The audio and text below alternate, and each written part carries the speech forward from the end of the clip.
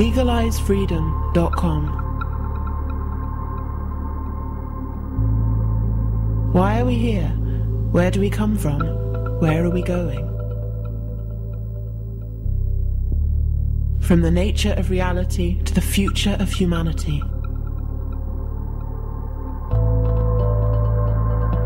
Beyond politics, poverty, and war.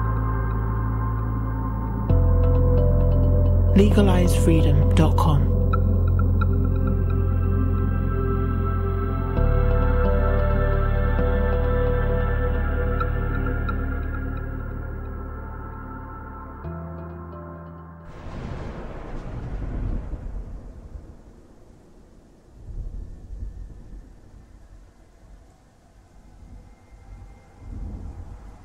I imagine that right now you're feeling a bit like Alice. Tumbling down the rabbit hole. I can see it in your eyes. You have the look of a man who accepts what he sees because he is expecting to wake up. Let me tell you why you're here. You're here because you know something. What you know you can't explain, but you feel it. You felt it your entire life. That there's something wrong with the world. You don't know what it is, but it's there, like a splinter know what I'm talking about? Do you want to know what it is? The Matrix is everywhere. It is all around us. Even now, in this very room. You can see it when you look out your window or when you turn on your television. You can feel it when you go to work, when you go to church, when you pay your taxes. It is the world that has been pulled over your eyes to blind you from the truth. That you are a slave. Like everyone else, you were born into bondage, born into a prison that you cannot smell or taste or touch.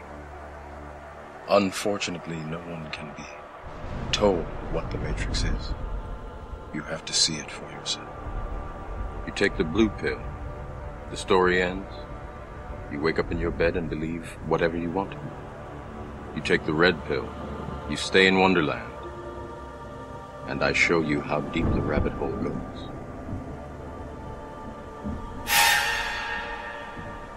Right now, we're inside a computer program. Is it really so hard to believe? Your appearance now is what we call residual self image. It is the mental projection of your digital self. This. This isn't real. What is real? How do you define real? If you're talking about what you can feel, what you can smell, what you can taste and see, then real is simply electrical signals interpreted by your brain. You have to see it for yourself. You have to see it for yourself. You have to see it for yourself.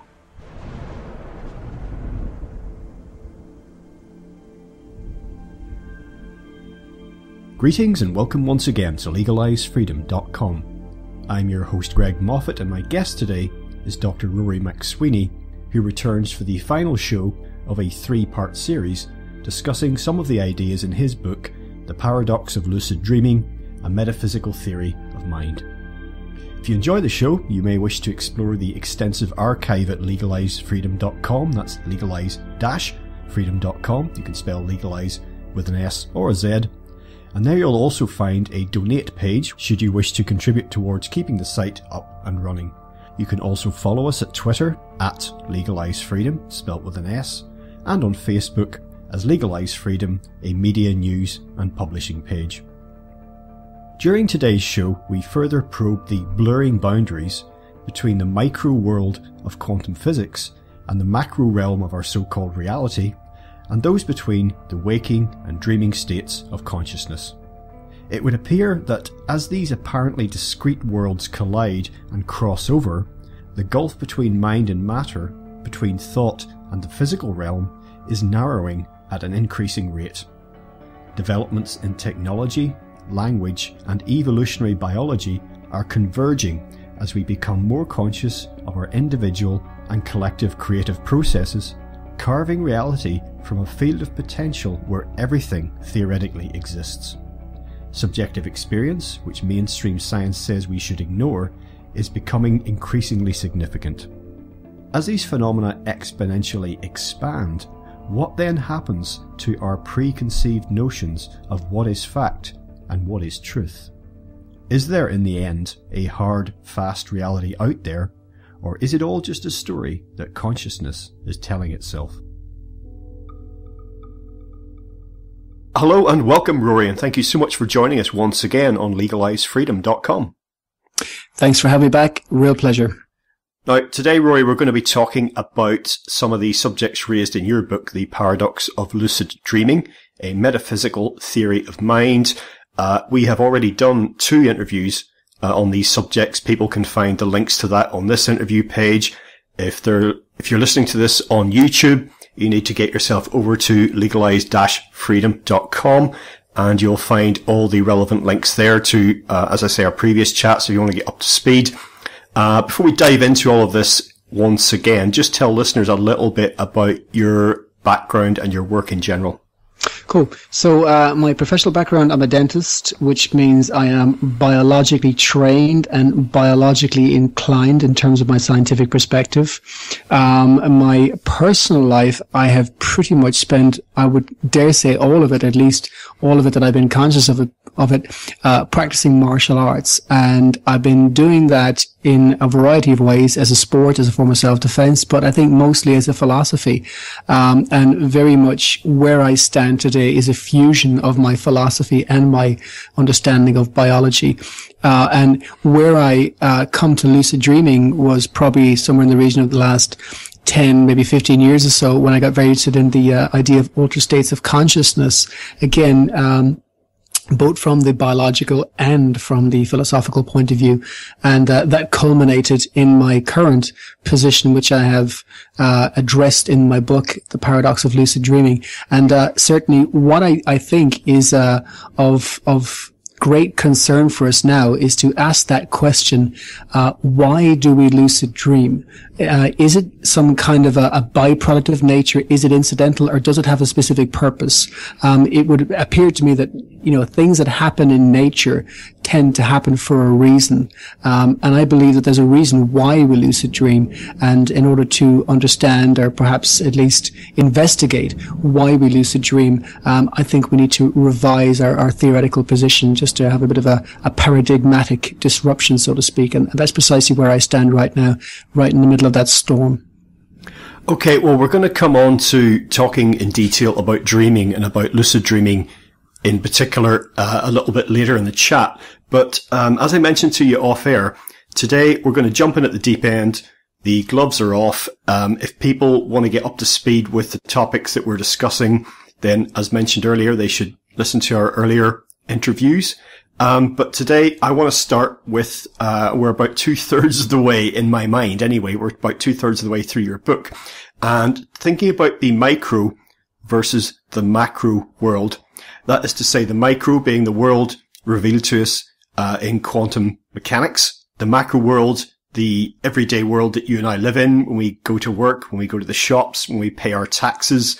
Um, there's a dilemma here. Is this a continuum or is it not? It seems that uh, contemporary science, uh, mainstream science anyway, is at that point where uh, the you know the micro world we can basically ignore because it has no effect on the macro world. But this seems to me, as I say, a nonsense because the macro world is made up of the same stuff as the micro world. It is all one continuum. Yeah, that's that's. I mean, really, the, the kind of crux of the uh, of, of the situation, isn't it? That we have two apparent views of of the physical world, and they seem to be incongruent. Um, and moreover, as you say, we, we can't seem to kind of bridge the gap between the pair of them. Um, I, I, guess one would say if we can bridge the gap between the pair of them, that's the equivalent of saying that we can somehow marry the two ideas. In other words, uh, we have to find some sort of a theory that that ultimately describes both situations adequately, and that is the proverbial t- theory of everything. Um, so I, I, guess to some extent, my, my own book addresses the same question and offers you a way of looking at that. And what I said was that we have an equivalent uh, position with our states of consciousness, which is to say we have the waking state of consciousness, in which case uh, the world as we experience it acts in a certain way. And we also have the dreaming state of consciousness. And once more, the world in the dreaming state of consciousness has a different behavior to the world as we experience it in the waking state of consciousness. Now, what I illustrate in my book is that we can look at uh, very specific properties in the dream world and we can pretty much marry them to similar types of properties in the quantum world. Now, some people will want to jump on that and say that it's it's too far a leap, but I, I illustrate them very clearly: uh, non-locality, uh, reverse causality, the fact that things are only apparently there when we observe them. I'm, I'm very specific and detailed, um, and I, I don't want to be accused of doing the proverbial take quantum physics, take dreaming, put them together, and voila. I, have been very articulate in my concern for the matter, and I do see a very specific uh, pattern which would illustrate that there seems to be in the one camp we've got dreaming and quantum physics, and in the other camp we've got the waking world and macrophysics, so to speak. Um, and as I said, there's very, very specific patterns there that would that would imply that they both should be in those uh, proverbial sets, so to speak. Um, the, the question is, how do we try to bridge the two sets? Well, looking at it from the point of view of physics at the moment, that would seem to be something that would need to have uh, a, a, rather complex mathematical essay, you know, in order to achieve. Um, and that would be something along the lines of string theory, M theory, higher dimensional theories, and so on. Um, they're mathematical essays that are way beyond the grasp of any normal human being. Um, from my point of view, the question I guess I got to ask is: Is it possible to enter in an equivalent way into a state of consciousness that could potentially bridge the waking state and the dreaming state. In other words, is there a state of consciousness between waking and dreaming? Because if there is a state of consciousness between waking and dreaming, that would be to some extent equivalent to uh, a mathematical apparatus that would be uh, able to stand between the quantum and macro world, if you follow my line of thinking. Um, and the question as to whether we can enter that state of consciousness, as to whether there is a state of consciousness between waking and dreaming. Well, the answer is that there is, of course, uh, a, a, state of consciousness between waking and dreaming.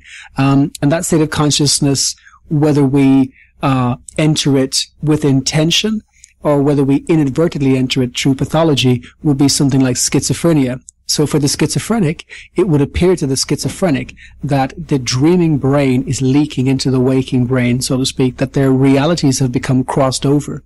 Now, is in the intentional uh, induction of the schizophrenic state, I would turn to shamanism. So the shaman is by Terence McKenna's description, and certainly I believe McKenna was borrowed that off, I think Alfred White Northhead, I'm not sure, no, maybe I'm wrong. It wouldn't be Northhead. I don't know. He borrowed off somebody prior to him, Eliade or somebody he, he refers to, uh, the idea that the shaman is a controlled schizophrenic, and that in traditional societies where people are inclined towards schizophrenic type activity, that instead of being ostracized as in our society, being taken into medical care, whatever, whatever we do with that, that in these indigenous societies, that people who tend to hallucinate, who tend to be able to see reality in that way, are taken aside and trained as the shaman. So it's a kind of a controlled schizophrenia, so to speak.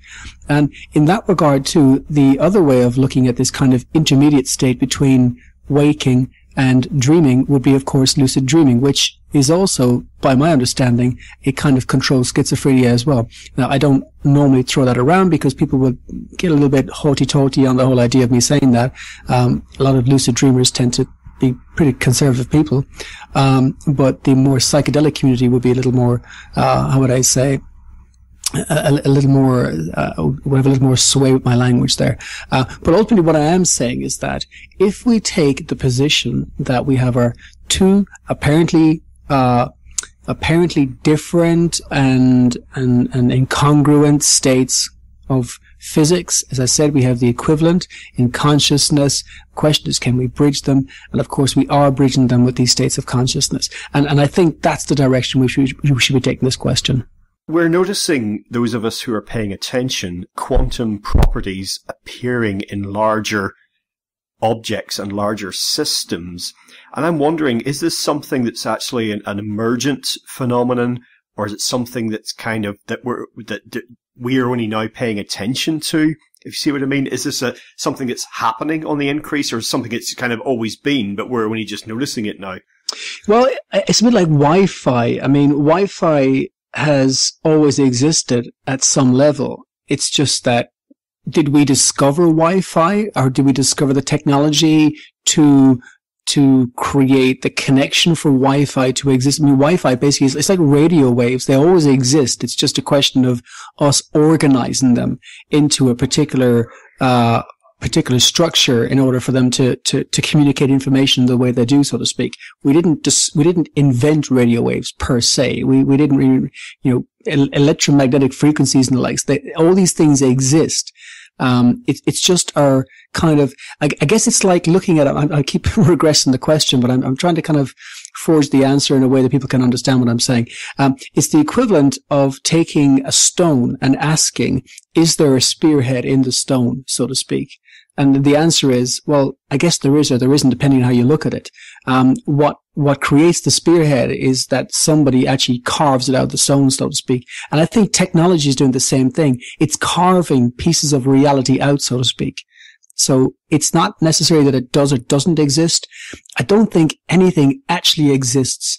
I think everything, I think everything, and I literally mean everything, potentially exists. But what's happening is that consciousness itself is carving out reality. It's doing so through the process of technology, through language, through social interaction, through just evolutionary biology. All these things are just emerging as, as consciousness itself is literally carving out reality. And I think that's, I think we're becoming more conscious of that. I think we're becoming more conscious of our creative process that we're literally saying it's not a question of can we do this or not? The question is, well, how do we do this? How do we create this thing? Um, and in order to do that, what it would seem needs to be in place is what I call narrative congruency. So in, in this regard, I like to think of reality not as this fixed object, this universe, this thing that's out there, but it's, it's more like a story that consciousness is telling itself. And ultimately, the story it's telling itself must be narratively congruent from chapter to chapter, from past to present to future, and so on. And what that effectively means is that there aren't these laws of nature as we describe them. I'm very much more on the same page as um, as, as, as Rupert Sheldrake when he talks about the habits of nature. And I think the habits of nature, like any habit, can ultimately be guided and changed and ultimately broken if necessary. Um, and likewise, the proverbial laws of nature can be guided and changed and, if necessary, broken in order to accommodate that, but only if it's congruent with the narrative from the previous, um, from the previous essay, so to speak. So in, in that regard, I think that what, what ultimately is changing reality itself is consciousness telling itself this story that we call reality.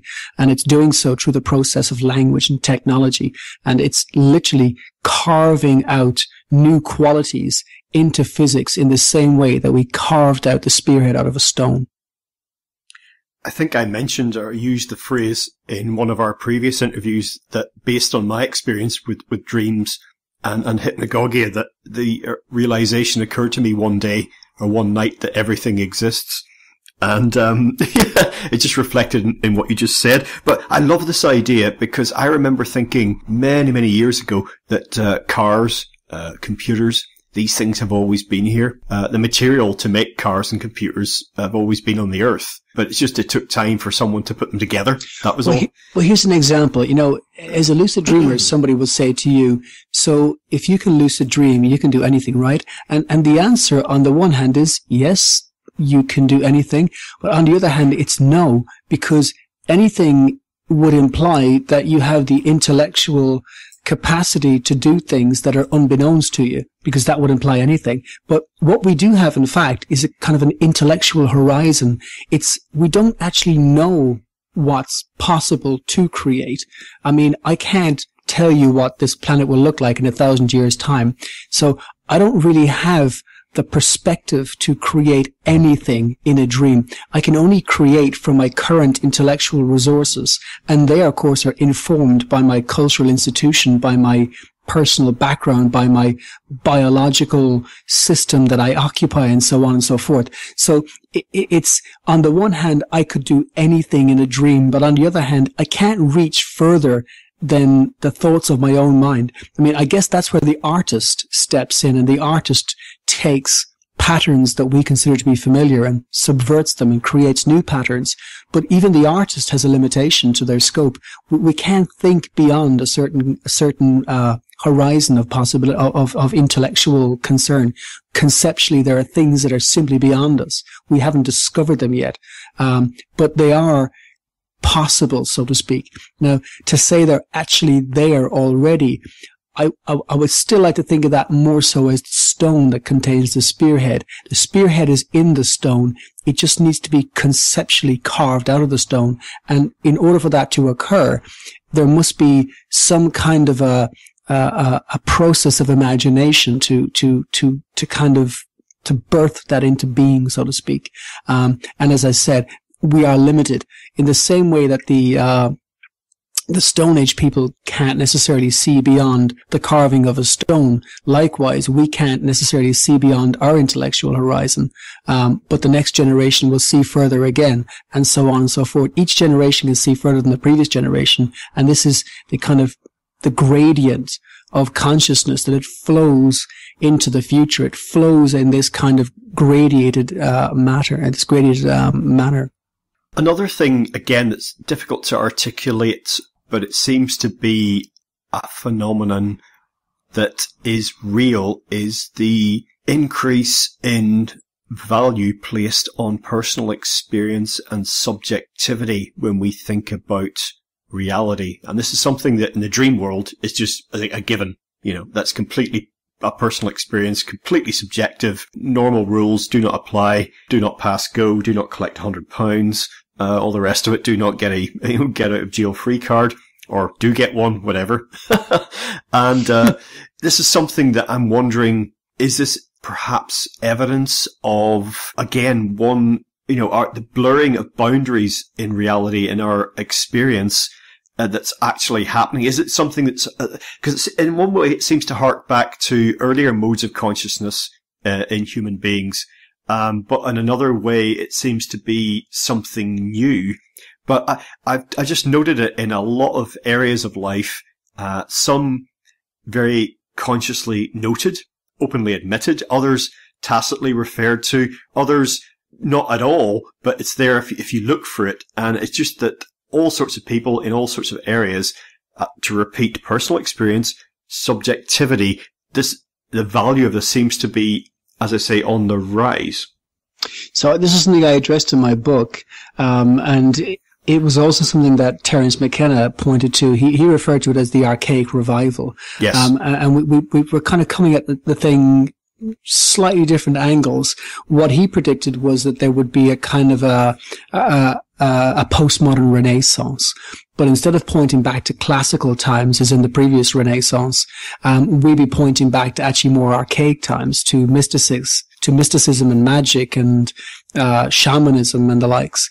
Um, and and kind of he, he didn't quite have the piece of the puzzle that I have in my hands, which is that the reason I think that this is happening now, and again, this is no coincidence, the reason it's happening now is because if I told you something was, a, and this is something I refer to my own book, uh, I think the, the, the, the, the subtitle he- heading is a, a, plasticity of fact. And, uh, what I said basically was that as, as the world becomes more information saturated, what we define as a fact becomes more plastic because of things like Wikipedia. When I was growing up, if somebody told me something, for example, a platypus has got a duck's beak and it's got web feet and it's got a sting on its tail or something like that. Now, if I somebody told me about a duck-billed platypus, I might have said, "Well, that sounds like a crock of shit," because I don't know any animal that looks or sounds like that.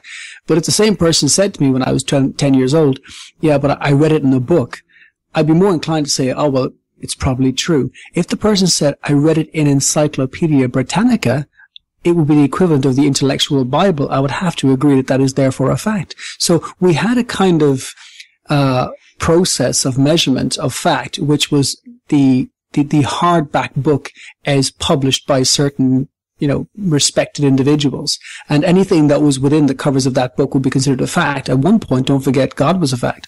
Um, but w- what actually happens is, as, as religion starts to kind of lose its grip on society, as the age of enlightenment comes in, we, that's the first time that we recognize that people in authority don't necessarily know what's going on.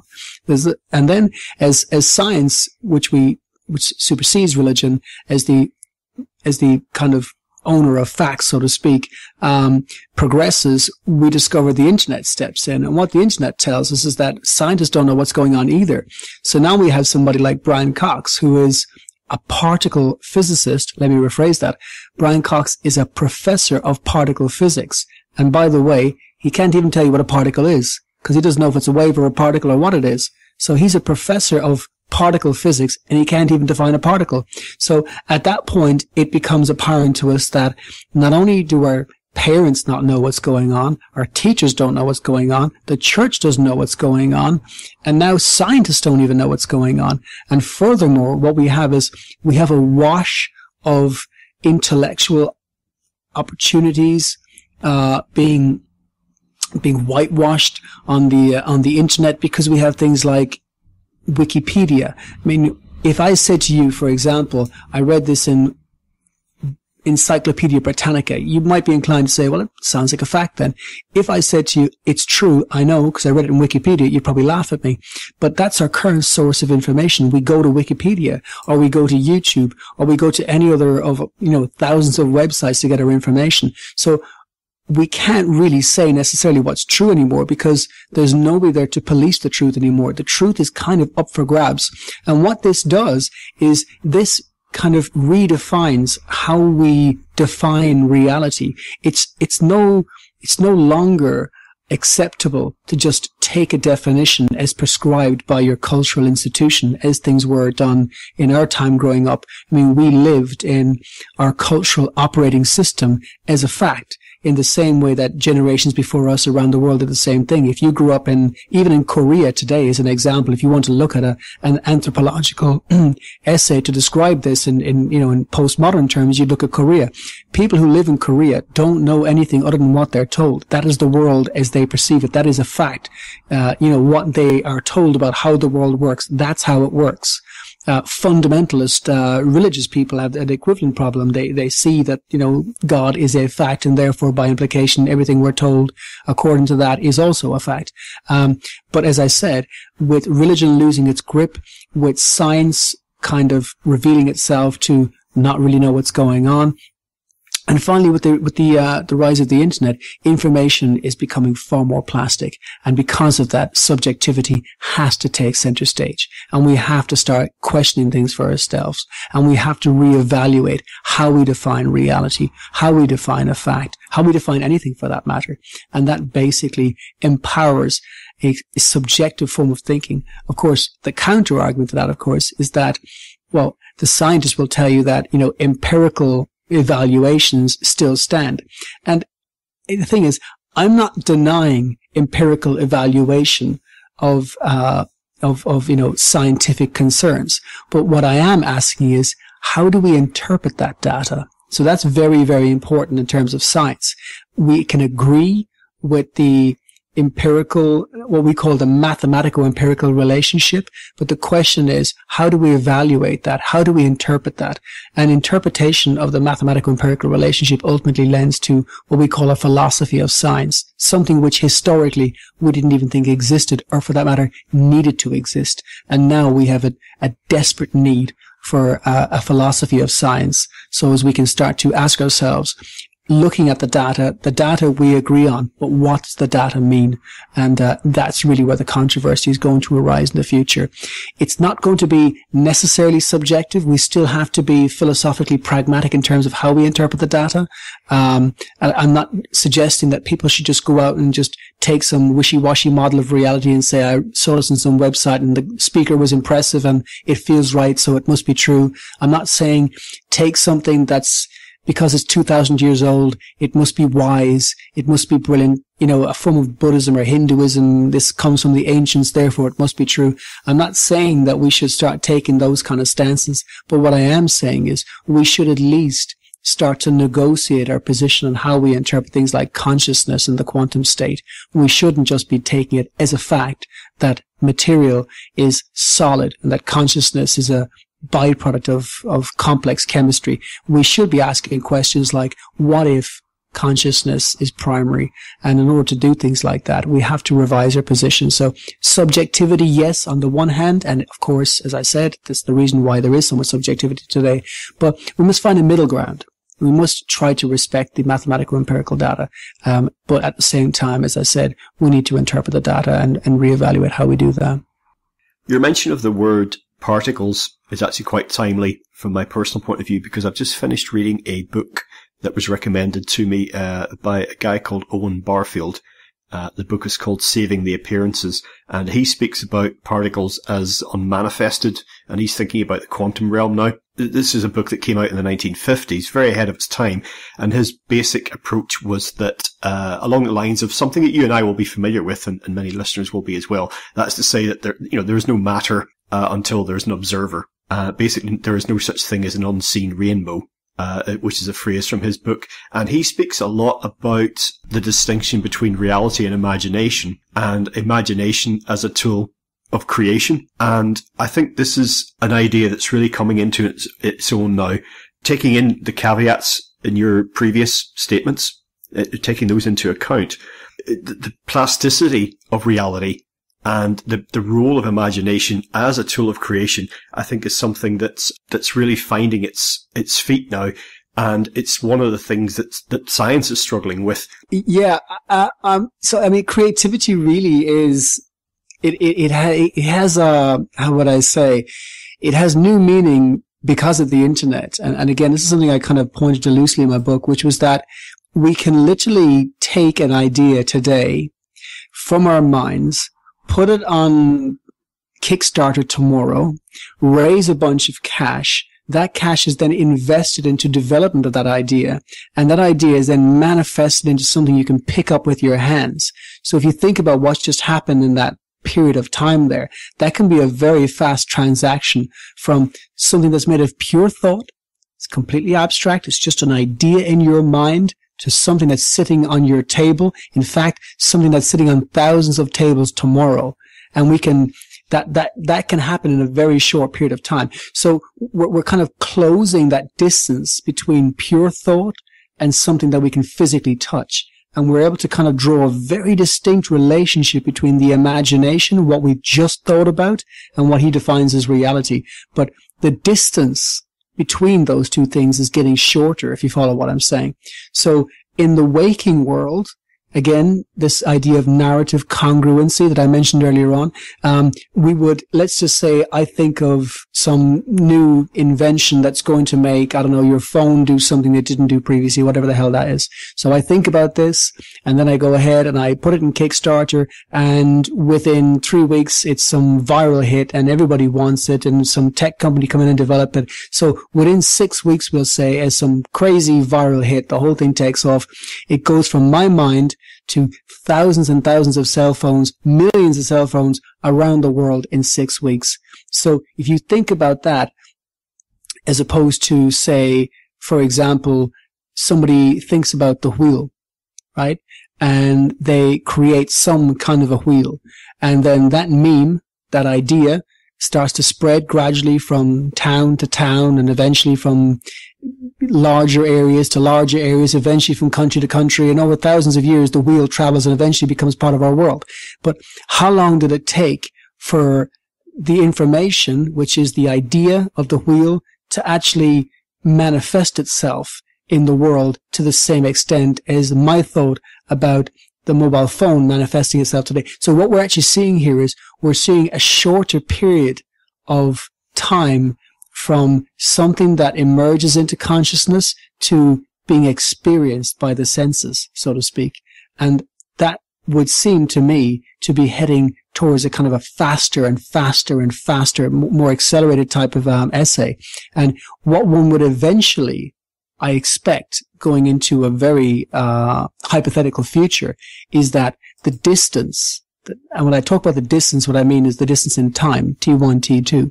So that T1, T2 episode, uh, that, that distance in time between, or let me say the time period, the time period between what we think and what we can touch with our senses will get smaller and smaller. That gap will narrow and narrow until eventually in through some kind of a technological process, we'll eventually be able to think of something and instantly manifest it. And of course, that's precisely what we're actually doing in a lucid dream. Um, in a lucid dream, what you think you can instantly manifest. This reminds me of, again, it's funny how often pop culture references come up when I'm, maybe it's just my mind as a, as a culture critic, I don't know, but uh, the, the, same things come up again and again. And here we are, uh, I'm reminded again of the Dancers at the End of Time uh, by Michael Moorcock. What he describes is it's a decaying civilization you know, it's one that's not, it's in decline. But the point is that the people in it, the human beings, have developed just this variability to manifest their thoughts in physical reality instantaneously. So they think 300 foot tower made from red glass. There it is. You know, and of course this causes all sorts of problems, uh, because, you know, anything, not everything we think of we would necessarily want to see appear before us. But I do wonder about uh, uh, some of the areas that, that we've been discussing where the mind matter balance, where the interface uh, in human beings is going in future. Um, for example, you know, is, is telepathy something that we might increasingly develop? Uh, you mentioned Rupert Sheldrake. He's done a lot of work in uh, communication uh, beyond language, beyond the usual physical ways of doing things. Again, we're prompted here perhaps to think about, you know, what happened before the development of language. I've talked a lot, as I mentioned to you off air, about the limitations of language in human communication. Is language something that we will transcend? Where I stand on that again is this idea of narrative congruency, and I'll, I'll kind of pick up this idea. For me, it, if I said to you, say, 40 years ago, you can walk down the street right now and speak to somebody in New York, you'd think I was talking bullshit. But if I give you the same statement today, you'd say, well, yeah, I guess I could just FaceTime him, right? And you're like, well, yeah, okay. Well, what's so fucking magic about that? So all has happened there is that you have got a narrative script that allows for that process to take place and it is congruent with the world that you live in. Consciousness is experiencing itself congruently in that regard. And as we progress, technologically speaking, towards more integrated kind of technological apparatus, we will eventually start to become, I, I expect, these well, what transhuman, so to speak, we will most likely integrate technologies in ways whereby we will literally be able to speak to each other without moving our mouths. My feeling is we will be able to think to each other, etc. Um, and for the people experiencing that, it will just be as normal as this conversation is to you and me right now. But this same conversation that we're having right now, what we're talking about, the way we're having it, to somebody from the time of Henry VIII would just be pure magic. It would be impossible. And yet to us, it's perfectly possible. It's perfectly normal. And we just take it for granted because it's congruent with our, with our reality. Each generation as will pick up from the previous generation. And what's actually going forward in time is the story itself, the story of consciousness. And each generation is up to pick up the previous story and run with it like a kind of a, how would I say, like a narrative relay, so to speak. Um, and I think that that's ultimately I, I, don't look to the past to this idea of, you know, could we communicate telepathically before we could speak and so forth. I, I, don't necessarily, or is there evidence of, uh, telepathy right now, un- unless it's narratively congruent with our understanding of biology I, I, don't think it is or has been possible for that matter, um, because it would be incongruent with biology as a whole. It would be incongruent with evolution. It would be incongruent with society, with the way the world has been built historically. It would contradict so much of our paradigmatic view of biology that I don't believe that it would make sense. It would be so narratively incongruent with our model of reality that it would just imbalance the entire system. And I think that's very, very important. And I want to just pick up the same idea with you um, with regards to lucid dreaming. So let's just say, for example, lucid dreaming, you said what you were talking about. I want to imagine a 300 foot red tower. In lucid dreaming, if you just said, okay, I want to imagine a 300 foot uh, red tower in a lucid dream, I can tell you, chances are you would not see a 300 foot red tower. It's very, very unlikely that you would see that. The way you would see a 300 foot red tower in a lucid dream is you have to kind of create a story for the dream. You have to kind of story tell the red tower into effect. You might, for example, um, meet somebody and you might ask them, do you know where the Red King lives? And they might give you some kind of, as they often do, these kind of riddle type answers in lucid dreams. You'll often find the other dream beings speak in riddles. They might give you some kind of a riddle answer. And you kind of play along with that answer, whatever the answer is, by the way. And you try to direct that answer narratively towards something that would lead you to finding this 300 foot tall red tower. And whatever next scene unfolds in the dream, you kind of again coast it. You kind of go along with it and you try to nudge that narratively speaking towards this proverbial red tower you're trying to find. But what you'll discover is that all you can do with a lucid dream to manifest something is you can kind of narratively nudge it towards what you're trying to manifest. But if you just click your fingers or stomp your feet and say, I want to see so and so now, you can, it does work sometimes, but a lot of the time it won't work. And the reason it doesn't work is because it would seem to me that the dream doesn't have a kind of a natural narrative towards this outcome you're trying to achieve. But when you give the dream a bit of a narrative nudge towards what you're trying to achieve, you'll find it manifested much easier. And that to me is not just something that's happening at the lucid dream state. I think that's exactly what's happening in the waking state too. And I think that everything that's happening in the waking state must be narratively manifested into being. And when we become aware of that process of narrative manifestation of things, then we're starting to understand the nature of taking something from your mind and bringing it to your senses into the, the world of physicality as we know it. That we know things don't just I thought of something and then it happened the next day. Say, well, I thought of something and then I spoke to so and so and he pointed me out to such and such and then we developed this idea and then we tested it and then we took it here and then we got to deal with these guys and there's a whole story behind it. Notice that everything that starts as a thought and ends up in your hands, there's a story between the thought and the manifestation. And so what we, what we're becoming better at is we're becoming better storytellers. We're becoming better at telling the story of reality into existence. And you'll discover this with lucid dreaming. Uh, the better storytelling ability you have, the better you'll guide the dream to manifest things. And then you start to apply the same thing to waking reality. I want to achieve X in my waking reality. I can apply the old school rule of law of attraction. The more I think about it, the more likely I am to get it. Or you can apply the old cross my fingers and hope I'll get it. Or you can say, I'll work really hard to try and bring this thing into my world. But if you're clever about it, you recognize that yes, the law of attraction, to some extent, I agree with that. The hard work thing, nothing comes without hard work. But it's a question of, it's about what I call laying the correct narrative seeds for this thing to grow into your world. So you start to kind of leave narrative seeds around your reality and you watch them grow and you nurture them and you water them and you feed them and so forth. And the idea is you're nudging reality towards this outcome. You're starting to story tell whatever it is you're trying to create into, into experience. You're nudging the narrative to manifest your outcome. And that's, that, that, that is the, the very delicate nature of reality that I think we're only starting to understand. And this kind of comes back to this question you were talking about creativity again. I think that this is what creativity is. It's recognizing that reality is not made of building blocks like these impartial, objective, uh, bits of matter that are just bumping off each other incidentally. It's not made of that at all. Reality is made of stories and stories are made of words and words constitute language. So in that regard, reality is a story you're telling yourself. And the name of the game is to try to nudge the story towards what you're trying to achieve.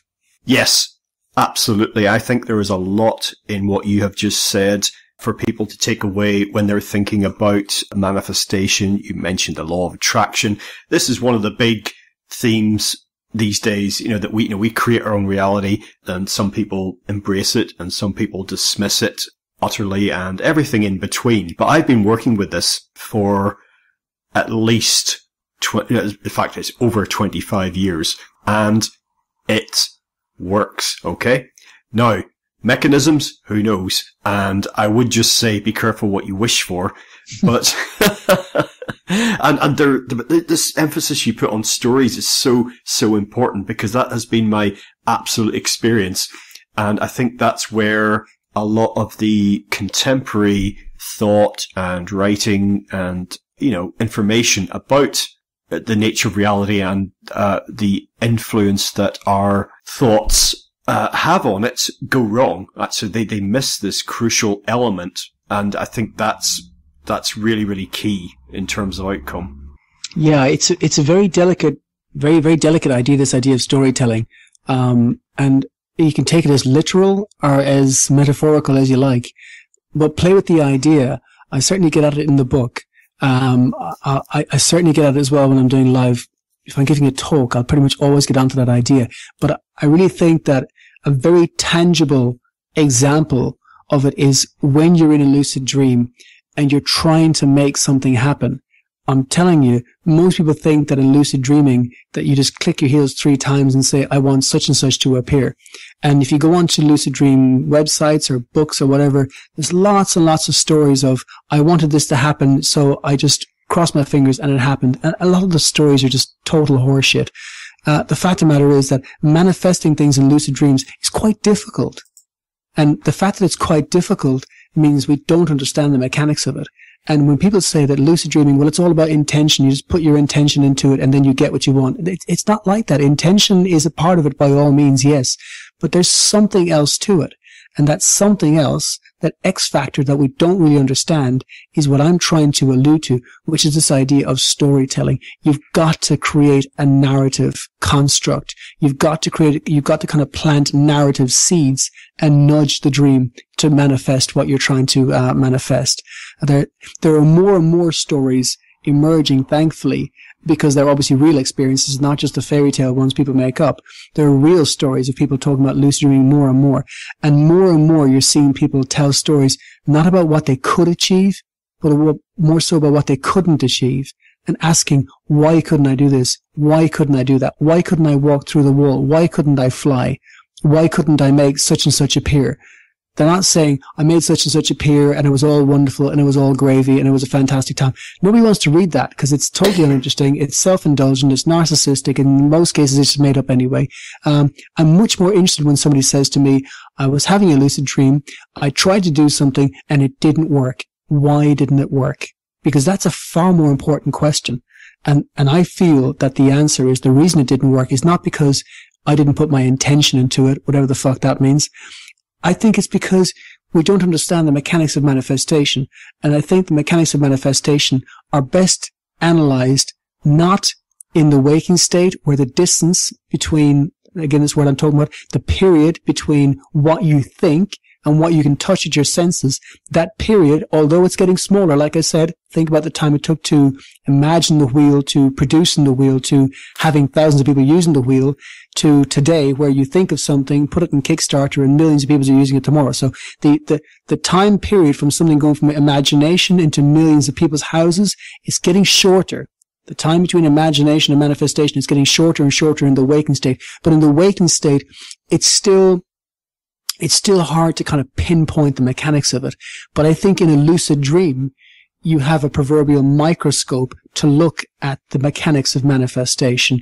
And when you're in there as a lucid dreamer, trying to manifest things, seeing things that you can manifest and seeing things that you can't manifest, and then contrast and compare, why did this succeed and why did this fail? On the back of my book, it actually says, why is it that sometimes we can fly in dreams and sometimes we can't. And that's the question I'm getting at. I'm not so interested as to why we can fly in dreams. I'm more interested as to why we can't fly in dreams. Because if we can't fly in dreams, well, what's stopping us? And when somebody says to me, oh, well, it's just your intention, it's a throwaway statement. We can't measure intention, but to some extent we can measure that narrative structure and we can look at it and ask ourselves, you know, what, what did I do? Well, I, I just wanted this thing to occur. The dream was like, yeah, it's not good enough. you got you got to you got to hint it, you got to nudge it, and this is a really important concept that I'm trying to get out there. This makes me think about, uh, in terms of what might be possible in future. One of the first thing things that occurs to me is, well, is that possible now? But we just don't appreciate it or realize it, if you see what I mean. Along the lines of what I was saying earlier about the materials for the car and the computer have always been on the earth. Uh, for something that we might be able to do somewhere down the line, can we do it right now? We can because we are doing it right now. I mean, let's just say, for example, your show. I mean, you're manifesting your show. You're literally manifesting it, but you're not sitting there crossing your fingers and saying, I believe in my show. I believe in my show because somebody told me that's how it works. You're not doing that. What you're actually doing is you're actually going out there and actively creating the story of your show. You're putting, you're, you're putting narrative seeds into your show. You're making connections. You're doing the interviews. You're making sure you're pushing your videos. You're, you're pressing your ideas. You're speaking to people, having meetings, etc. So what you're effectively doing is you are giving fuel to the story of the success of Legalise Freedom. You're actually creating that story. You're actually actively pushing the story. You're nudging it. So when you manifest success with this situation that you call Legalise Freedom in whatever way you visualize that sex, that success to be. When you manifest that, you, on the one hand, yes, you attracted it into your world at a law of attraction through your intention, through your desire, through your thinking about it and all that. I agree, but moreover, what you've done is you've actually created so many narrative seeds that what you grew was a field of opportunities and those opportunities eventually blossomed into manifested reality. And that's what you're doing. You're creating the story. I mean, somebody could just say, well, all he's saying basically is work hard at things. I mean, yes, I am on the one hand, but on the other hand, I'm saying work hard. Yes, of course. But I'm also saying work with this idea of the story in mind. Just play with the idea. And as I said, in a lucid dream, you don't have to work hard to make something appear. It's not the secret. The secret to making something appear in a lucid dream is to tell the dream a story. Now you apply the same mechanics to this world and say, okay, this is something I want to happen. Am I going to work hard at it? Of course I am. So therefore, that's half the battle. But the other half of the battle is you gotta tell the right story for the thing to, to it's a bit like it's a little bit like hard work is fertilizer. You put enough fertilizer on something, it will grow, provided, provided you got a seed in the ground in the first place. Cause you can put fertilizer on, on, on, on, on ground with no seeds and nothing's going to grow. Or you can put seeds in the ground and put no fertilizer and it's not going to grow. So the hard work is half of it. By all means, you got to work harder, whatever you're trying to manifest. But what's crucial is that you got to understand the nature of manifestation. It's about creating the story and you are creating the story of Legalise Freedom as well as working hard at it. But when you start to, to see the texture of it as a story and not as just this, I'll just put my intention, I'll hard work, all the old school values, understand this nature of manifestation. The, the mechanics of manifestation is narrative. That's the kind of punchline I'm trying to deliver there. The mechanics of manifestation are narrative.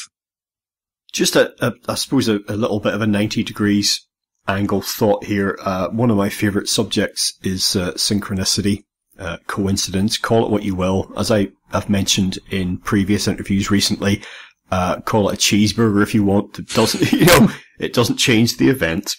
Uh, but synchronicity, when uh, you take things like that into account, when you appreciate those in 3D waking reality, uh, when you factor that into your day to day experience, the more that everyday, ordinary, waking 3D reality, however you want to label it, becomes dreamlike.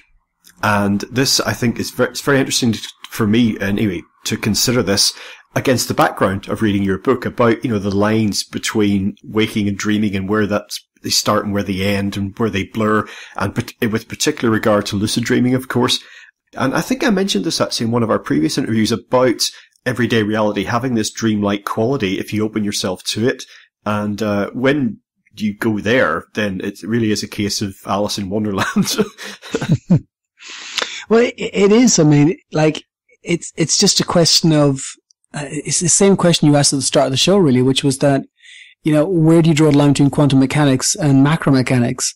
Yes. And, you, you know, in many ways you can't because at the end of the day, quantum mechanics implies four dimensional space time. Four dimensional space time is just the way we measure, um, the universe at a certain level, but you can't say that it's that it, it's some it's it's it's a departure from quantum physics. It, it's and you it's it's hard to know. I mean, is it is it an emergent property? Um, and if it is, then where's the connection with the with the source and so on? It's a very similar question you're asking. You know, where where where is the line between waking and dreaming? Um, and where's that line between quantum mechanics and and Newtonian mechanics? I mean, they're, they're very blurry lines.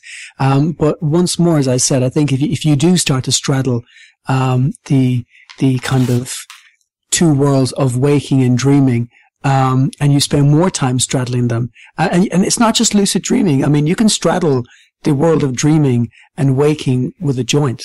To be honest, um, you know, the right quality of, of, of a good joint. Um, you can do likewise. I, I won't say what alcohol, I'm not sure what alcohol does to you. It's a depressant.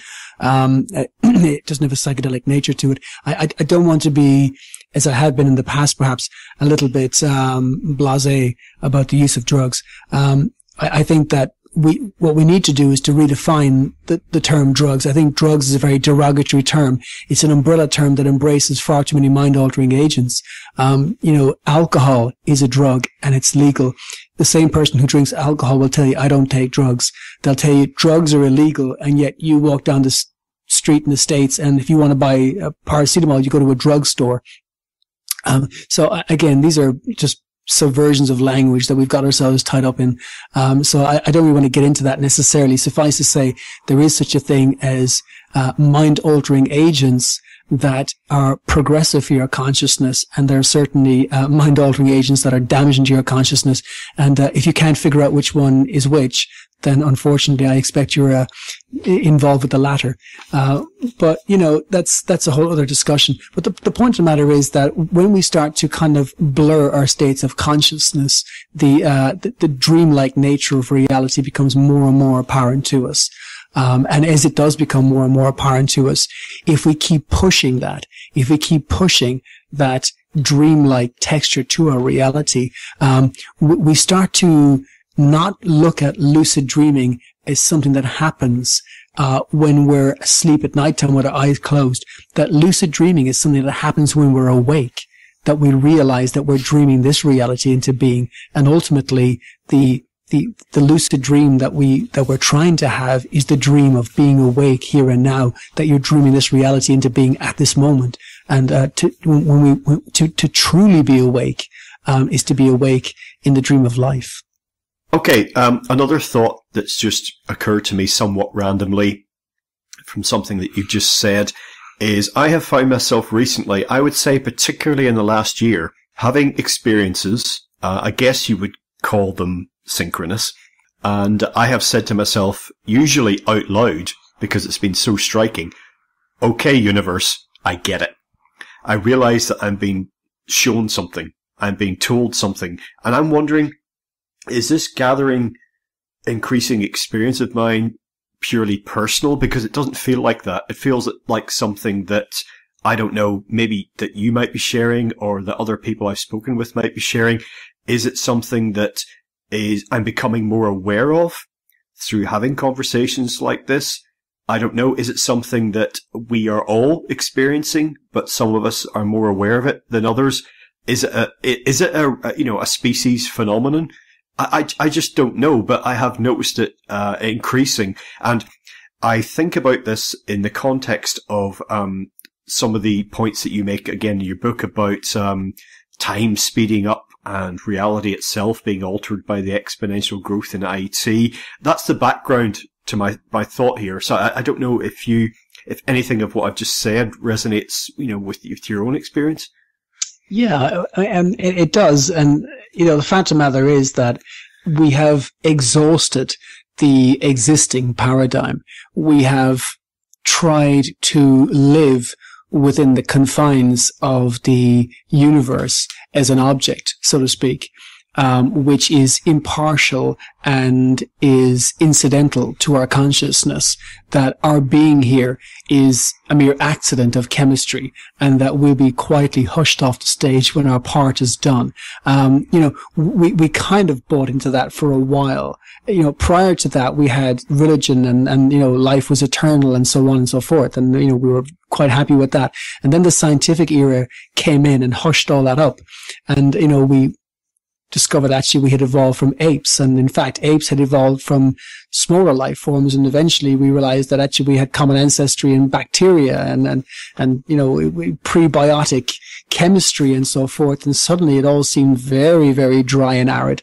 Um, and eventually we, we were we were atheized, so to speak, um, into thinking that actually, you know, uh, reality is this lump of rocks that are just spinning around randomly, banging together, and somehow coincidences stack up, and biology emerges, and eventually complexifies, and apes start to communicate with each other using small mouth noises and invent technology, and it's all very weird and very wonderful, but it's totally incidental, and at the end of it, we all just disappear into nothing. That's the story we've been told for the last couple of hundred years. And it's been a very successful story by all means. And there are people who are, who are passionate about that story, which is rather ironic when you think about it.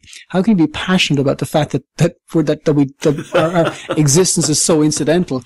Um, but I, I think that it, it, unfortunately, that story's done now. We've, we've, we've exhausted it. We're bored of it and we want to try a new story. Um, and, and the new story, um, is going to be one where we discovered actually that information could be passed freely between all individuals on the planet in at, in an instantaneous manner.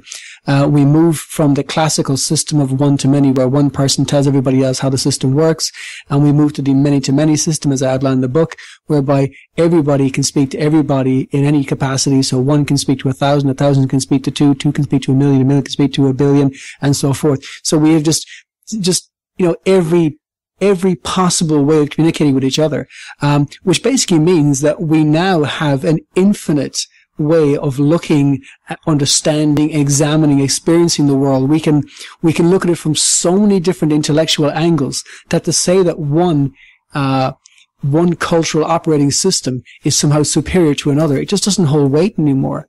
So what that does to kind of again uh, reiterate something we, we we mentioned earlier on about the idea that the of, of, subjectivity creeping in again is that it really does empower um, our our our our investigation of reality as something that is very subjective. And when you start to subjectively investigate the nature of reality, you do not find that at the end of the rabbit hole, there's nothing but emptiness, darkness, just loneliness, this, this atheist world that's been described to us, but in fact that there is light at the end of the tunnel, and that light at the end of the tunnel is, is something so profound and so mysterious, and yet, most importantly, it's something to do with me.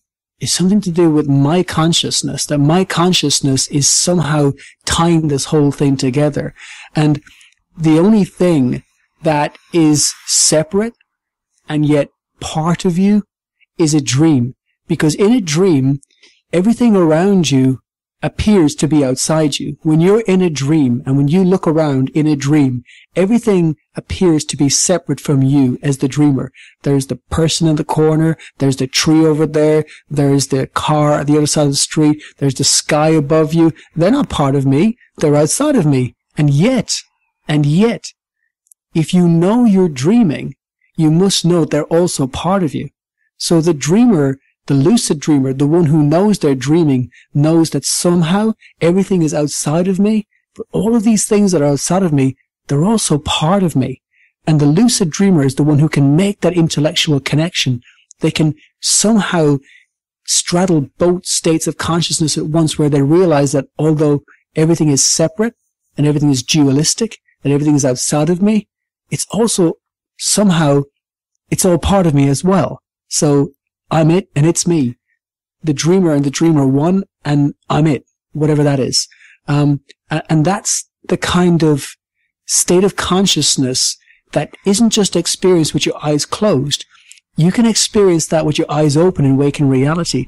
And that's what we call the kind of non-dual state of awareness. So this non-dual state of consciousness, or deep awake, as Tim Freke calls it, um, there are many different kind of names competing for the for the center stage as to how we're going to define a state of consciousness, but it's it's becoming more and more prevalent. I mean, we have the you know we have websites, we have podcasts.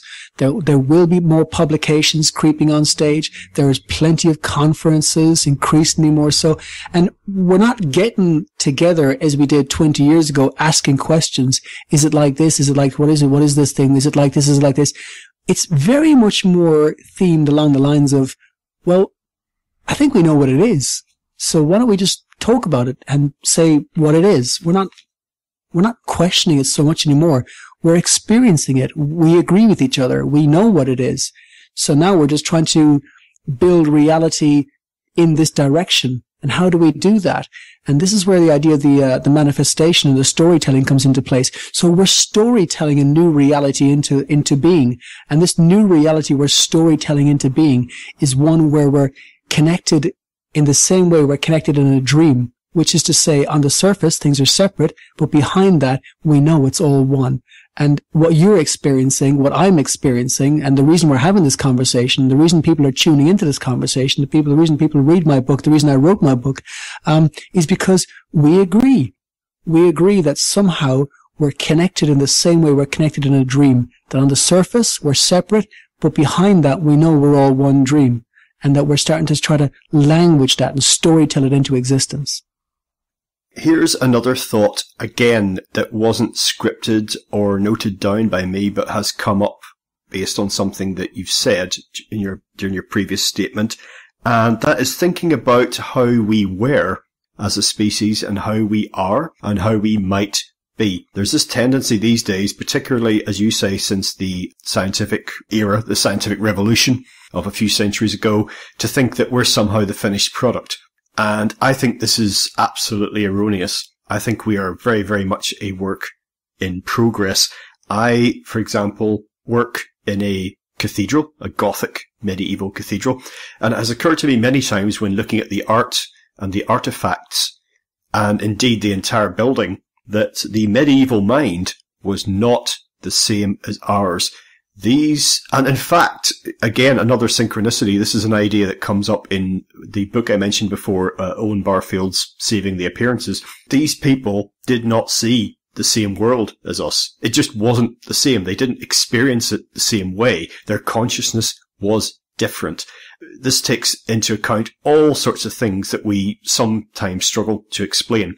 So where I'm going with this is that uh, we have no reason to think, I believe, that 500, 1,000, 100,000, 500,000 years from now, um, if we don't completely fuck things up, that human beings on this earth will uh, see the world, however it is then, in the same way that we do. We are, as much as any human beings that came before us, uh, a transitionary phase to what I don't know. Yeah, I mean, we, we see the world through a conceptual lens. Um, you, know, the, the, there is scientific, um, and this is just a very rudimentary example. There's scientific evidence to show that if you don't have um, particular language uh, for a color, you can't see the color. So, for example, we wouldn't have seen orange until we actually had the word orange. We had red, we had yellow, we know orange.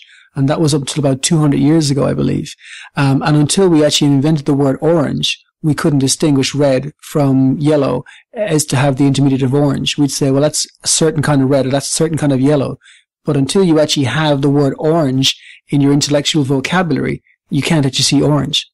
Um, so that's a very rudimentary example of it. And you can look at that too with uh, various um, various tribes in, in, in, Africa and the likes, where they literally wouldn't have been exposed to certain color palettes that we're exposed to over here, and therefore wouldn't have the language to accommodate it. And you can actually put um, color patterns for them to look at, and they will pick out certain, let's say, hidden details in the color pattern. And in some cases, they'll pick them out very quickly. In other cases, they just can't see them at all. And then you can give them a test that they can see certain patterns in that we can't see the patterns in, so to speak. And the reason being because their intellectual palette of color is different to ours. So they actually see the world differently to us. And that's, that's not subjective. That's something to do with the, the conceptual lens as forged by language. So again, this is something I kind of mentioned, um, in, in my, I say kind of mentioned, I think this is the fucking punchline of my book, but I say kind of mentioned. The punchline of my book is as follows. For those of you who haven't read it, um, spoiler alert. Um, I, the, the, theory, I, have I've actually given the theory a, a, a, a, title subsequently, and I call it the, the mimetic theory of lucid dreaming. And, and what it effectively means is that, uh, lucid dreaming is only possible by virtue of having the, uh, intellectual meme to allow it to take place. So I'll, I'll put that very simply for you. If somebody said to you, can animals have lucid dreams? Well, the answer would be, first of all, in two parts.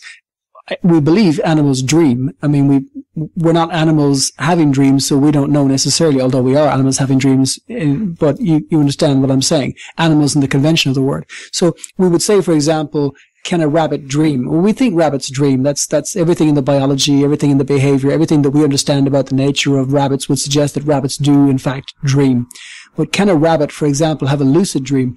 Well, the answer, according to my understanding of things, is, well, no is the answer. Because the rabbit has no conceptual apparatus to say that something is a dream. It has no internal dialogue to appraise the world in the way that we do. You need to have an abstract language in order to be able to say, well, this is a dream. This takes place in my head. This takes place, um, at nighttime when I sleep and it's distinct from waking reality because the rules of gravity don't apply and because my dead aunt is there sometimes and she doesn't exist anymore, etc., etc. However you conceptualize a dream as distinct from the waking world, that's something that we only ever actually achieve as we get older and, and, and learn very specific language patterns. Children don't distinguish between waking and dreaming. They just see it as one continuum of reality. So to actually say that something is a dream, it's a, you need a conceptual apparatus to define a dream. And therefore, to have a lucid dream, you not only have to have a conceptual apparatus of what a dream is as distinct from the waking world, but you have to be able to import that conceptual apparatus specifically into the dream world.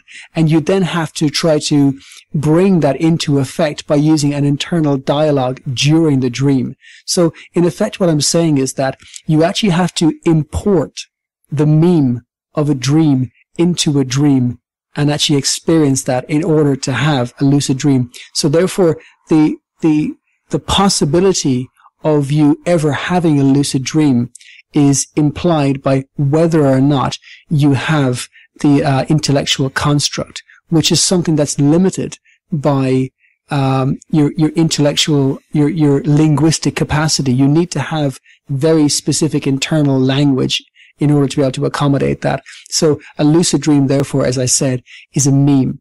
It's a meme that you inherit from somebody. Somebody tells you that you can have a lucid dream. Once you have the meme that a lucid dream is possible, you can start having lucid dreams. Prior to that, uh, you can't have a lucid dream necessarily. You must have the uh, the the conceptual capacity to have a lucid dream. Now, somebody might say to me, "Well, I had a lucid dream before I knew what they were."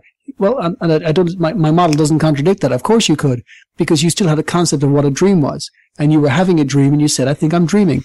So, the moment you say to yourself, "I think I'm dreaming," you're employing a mimetic technology, and that kind of mimetic technology is not something that I believe could be available to something that doesn't have an internal dialogue in the same way that we do. You need to have a very specific type of language in order to accommodate that.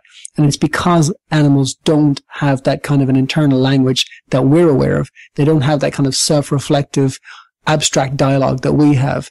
I don't believe they can have lucid dreams. Yeah, that's one of my favorite aspects of your book. Actually, you know, the idea about the uh, about conceptualizing something uh, in the first place and which making it actually physically possible in whatever way you want to use the word physical.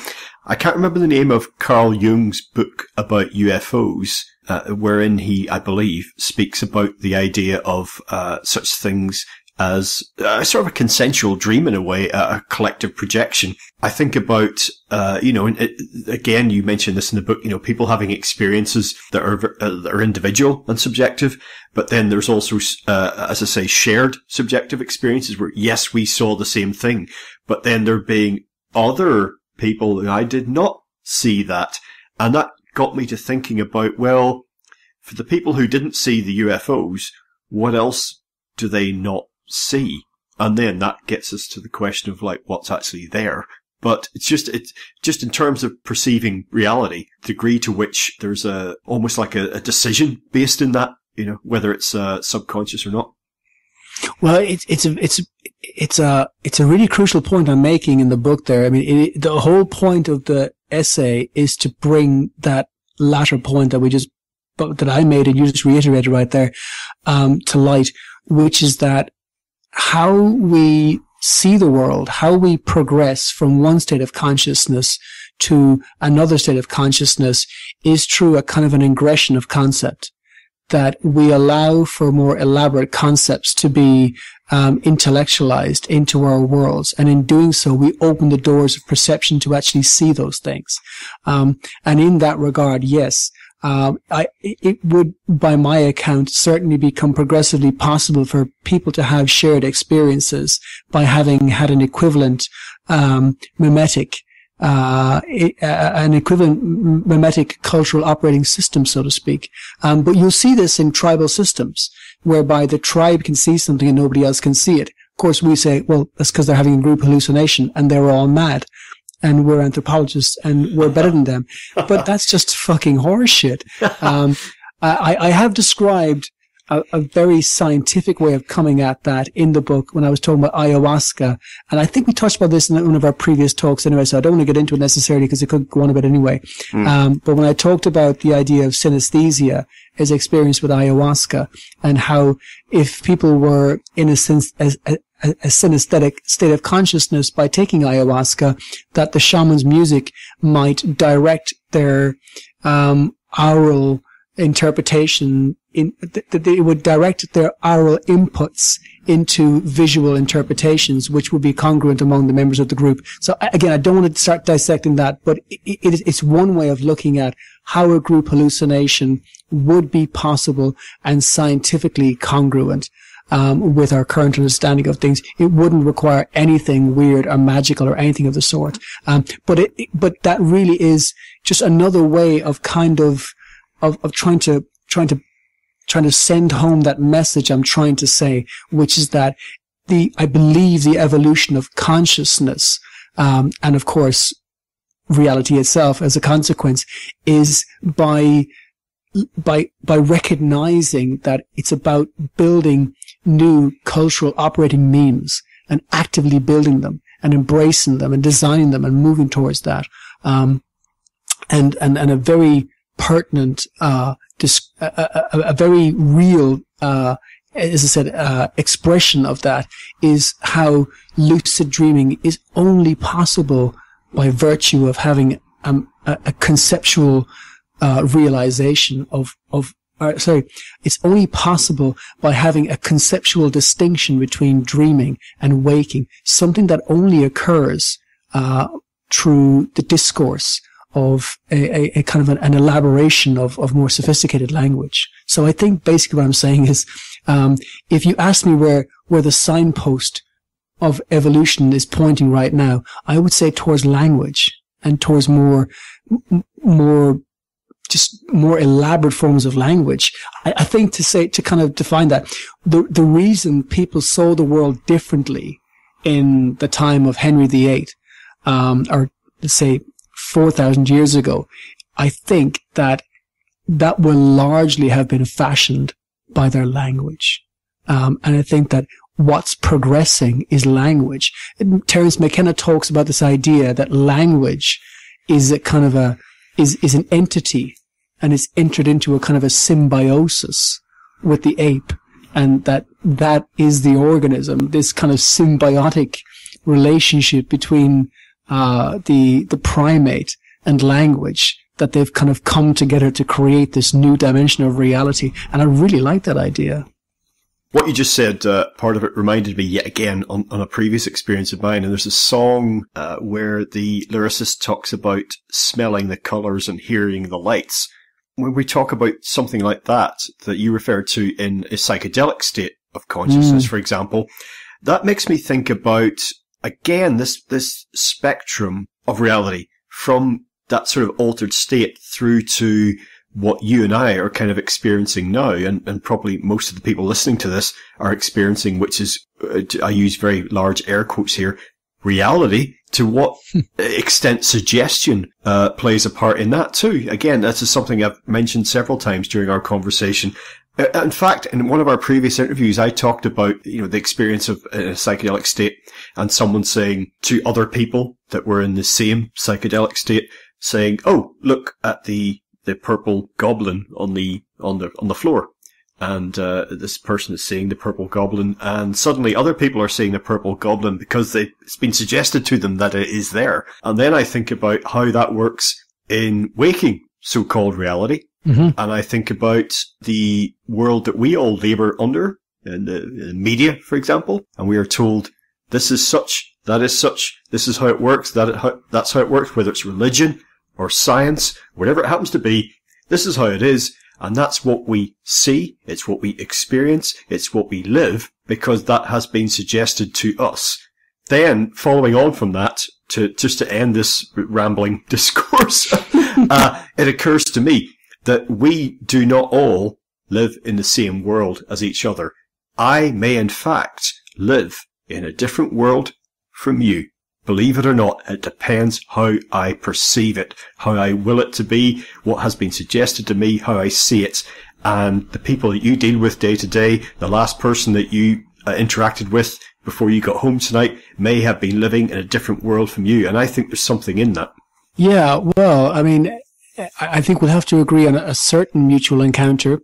Um, and oh, of then, course, of course, yeah. and and then we can, and I think we can allow for both to exist. That we can, that again, it doesn't come down to a question of either or necessarily. Uh, this is something that I kind of offer as the kind of conclusion of the book. Really, is that um, any which way we come at this thing in trying to describe it either this way or that way, we end up with a, with a paradox, with a problem, basically, because we'll find that ultimately any description of reality will end up somehow chewing its own tail.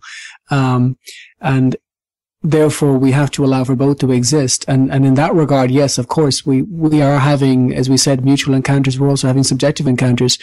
And, and that therefore, as you, as you kind of alluded to, means that we have to question the very nature of reality itself. I mean, where is this thing we call reality in that regard? Can we say that it's out there? Well, not really. Can we say that it's all in here? Well, not really. Well, which is it? Is it out there or is it in here? Well, it's both.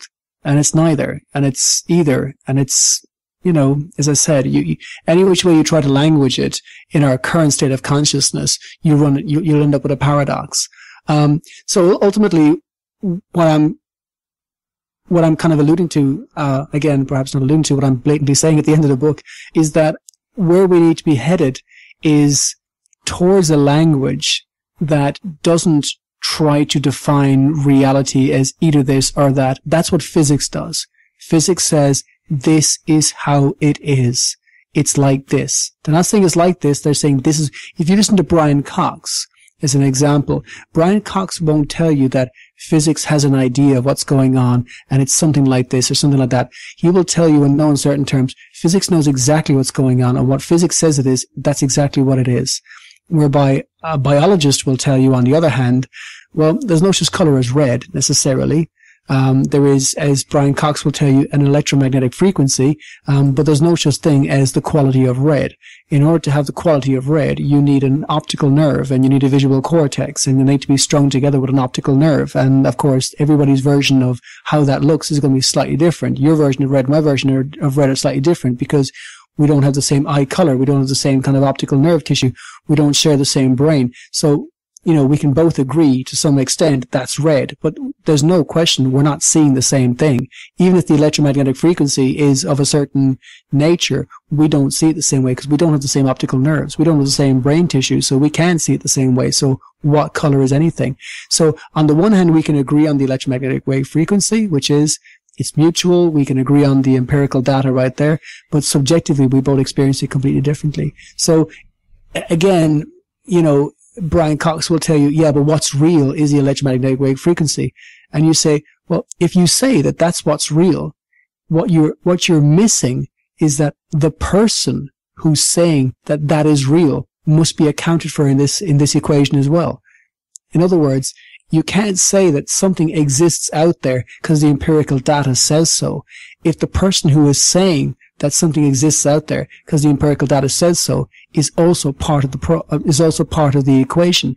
You can't separate the human making the statement from the statement. So even if the statement is empirical and definitive and true, it's only empirical, definitive and true by virtue of the person who is actually saying it. And that person therefore must be considered as part of the mathematical system. Uh, otherwise, you can't isolate the measurer from the measurement. And if that measurer, i.e. the person, the human, is, is, has a subjective element to it, which of course we do because we're humans and we're biology and all that, and that we can go into that whole conversation.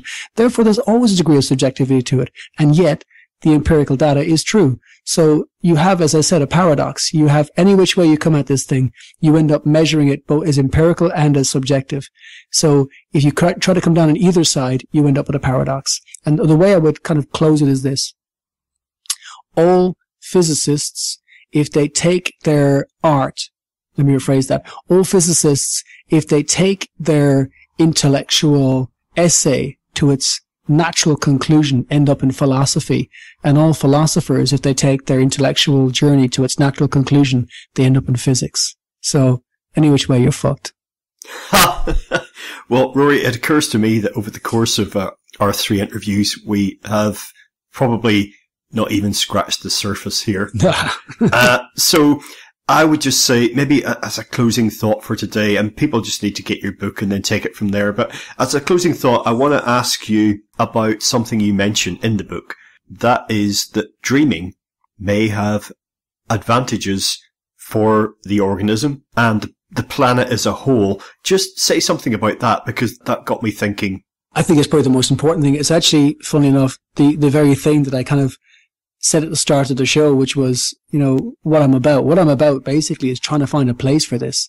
I mean, as I said, uh, you know, lucid dreaming, it happens. We're certain. Uh, why does it happen? Why do we lucid dream or why do we dream at all for that matter? Um, and the reason I said to kind of summarize this, why do we dream? This is my personal position on this.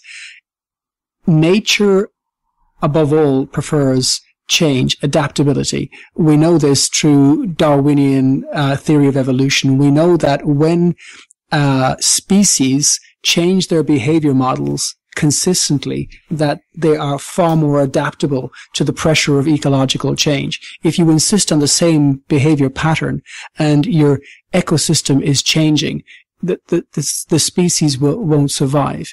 On the other hand, if the species is constantly changing its behavior, then it's more likely to be able to evade certain outcomes, evade certain predators, evade certain diseases, ensure the offspring, ensure the fact that the species will survive from generation to generation.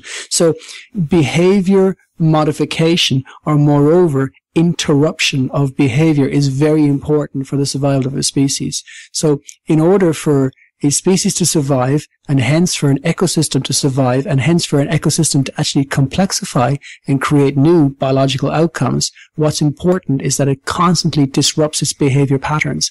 And so from my point of view, what I see dreaming as, dreaming to me is a kind of an advanced form of behavior interruption whereby the species or the, the subject in question um, isn't in its normal state of consciousness. In fact, it gets to rehearse its life without its kind of classical state of consciousness where we have very specific behavior. When we wake up, we go to work, we eat certain foods, we speak to certain people about certain subjects in certain ways, only in certain fashions, we do the same job, etc., etc. But when we're dreaming, we get to perform all sorts of strange behaviors and do all sorts of weird stuff.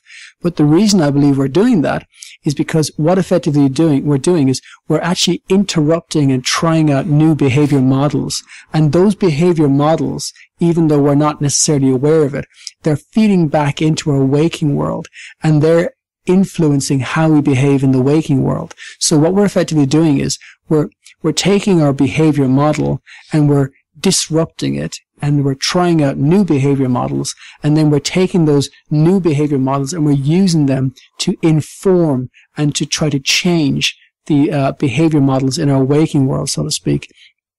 So what that effectively is doing is it's slowly nudging our behavior away from complete, how would I say, uh, a behavior loop where we repeat the same thing day in, day out. It's slowly nudging us towards different behavior patterns. And by us behaving in different patterns, what we're effectively doing is we're interacting with each other in different ways. And what that's doing in, on a kind of a social level is it's creating more complexity in the social system. And what that's doing on a kind of a, on, on a, on a, on a larger scale is it's, it's means that we as a species are interacting with each other in more creative ways. And hence we're creating new forms of technology to communicate with each other and so forth. Where basically our, our behavior model is complexifying. And because it's complexifying, it's driving the evolution of technology, of interaction, of social interplay and so forth. And this in turn is basically catalyzing um, the the the the planet the planetary system. Because of course as as we evolve on a social level we evolve on a technical level. As we evolve on a technical level we evolve on a global level. As we evolve on a global level we start to um, produce technology which becomes transglobal, so to speak, because it actually leaves the planet and goes into outer space and starts to eventually investigate and fertilize other planets and so forth. So again, this, this, this is not just going to affect us and our planet. It's going to affect, it's going to ultimately spread to a kind of an interplanetary essay. And again, this will drive more and more complexity off the planet onto other planets and spread out into the cosmos. And if we just take this to its nth degree, it effectively means that the universe itself is becoming more complex from this seed right here. Um, so in effect, therefore, what I'm saying is that dreaming is acting as a kind of a catalyst. It's a catalyst for consciousness. It's a catalyst because basically it's disrupting behavior. It means that we're interacting with each other in more complex ways, and that in turn has a knock-on effect to everything else, which eventually means the advancement of the entire cosmos itself. Um, and, and, and, and lucid dreaming comes into that too, of course. Um, if we kind of take that to its nth degree, we can see how lucid dreaming comes in as well. Um, by becoming aware of the fact that we're dreaming, that creates more complex, um, more complex, uh, uh, how would I say, more, more complex forms of, of, of perception, um, more complex forms of perception means that we'll start to, uh, create different forms of technology. And because we create different forms of technology, we will drive the global system into a, a, a more complex essay. And this, of course, will inform everything else. And it's, it's the same thing again. But in, in, essence, it's all about increasing complexity, increasing novelty, as uh, Terence McKenna would say. Um, and I think that the moment that we became self-aware as a species, this came into play because that in effect means we start to feed back and start to reflect and start to complexify our interactions. But dreaming is very important for that, as I said, right down to a rabbit dreaming. Because a rabbit's dreaming, um, I believe that that is going to allow the rabbit to interact in social mechanisms that it mightn't otherwise it mightn't otherwise do if it just repeated the same thing day in day out. By putting it in more abstract situations i think that it would ultimately that trickles into its waking behavior and then that complexifies its um its environmental interaction and so forth. Well uh, to say the least that's a pretty mind-blowing uh, point in which to leave our conversation for today. Uh, we've been discussing your book the paradox of lucid dreaming, a metaphysical theory of mind. That's available everywhere. Uh, but tell folks about your website. You've got your own podcast series, of course, and uh, just share anything else you'd like to put out there. Uh, well, listen, the most important thing is if you do read the book, um, enjoy it. Uh, a review on Amazon will be wonderful. Uh, you can find me on Facebook. I am on Reality Check Podcast. That's on Facebook, and uh, that's also on my own home site, wakeupinyourdreams.com. Um, but most importantly, I think just support the ideas. You know, um, ask what's going on. Listen to Greg's show. Listen to some other shows. My show. Um, you know stick your head up, look around, see what's going on. Um, people are talking about this. If you think what you're having is a fantasy or a mental breakdown, um, you know, you're not. What you're experiencing is what's happening. The world is going through a massive um, intellectual metamorphosis right now. We are going to be shedding the caterpillar body and we will be emerging as a conceptual butterfly which we can't even conceive yet. So spread your wings and fly and enjoy it. A conceptual butterfly, I like that one. Well, thank you, Rory, once again for joining us today on legalisefreedom.com. My pleasure, man. Well, folks, that's it for another week. As ever, thank you so much for listening. If you enjoyed the show, check out the website, which is legalisefreedom.com. That's legalise-freedom.com, where you'll find an archive of programs offering alternative views on a wide range of topics, including politics and economics, energy and environment, culture, spirituality, history, and the nature of reality. You can also browse and buy a range of publications from our guests, and if you're feeling generous, make a donation to help keep the site up and running. Whether you listen, donate, or do both, I greatly appreciate your support. Until next time, I'm Greg Moffitt, and you've been listening to LegaliseFreedom.com.